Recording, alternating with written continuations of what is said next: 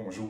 Comme plusieurs d'entre vous le savez déjà, j'ai été copropriétaire d'un fabuleux magasin qu'on appelait Les Touilleurs, qui était entièrement consacré aux outils de cuisine. On se tenait assez loin, en fait, on y touchait à peine à l'art de la table. Ce qu'on appelle l'art de la table, c'est l'habillage de la table qui, se traduit euh, par des nappes, de la coutellerie, de la verrerie, euh, la vaisselle, tout ça. On se tenait assez loin de ça. En fait, on, on touchait plus vraiment aux outils. Qu'est-ce qui fait qu'un outil est meilleur qu'un autre? C'est son mécanisme, c'est la façon dont il travaille, c'est sa durabilité peut-être?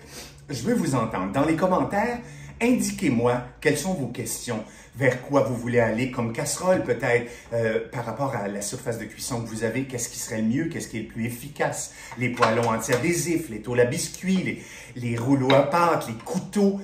Je veux vous entendre. Et puis ça va me faire plaisir de monter de petites capsules comme ça qui pourront peut-être vous aider à, à, répondre à vos questions et puis à élucider quelques mystères de la cuisine. Et vous savez, il y a des fois, et quand même assez souvent, c'est pas nécessairement le prix qui est garant d'une belle qualité. On va voir ça ensemble et euh, ça va me faire plaisir. Alors j'attends vos commentaires et on se revoit la semaine prochaine avec une, prochaine, avec une première capsule.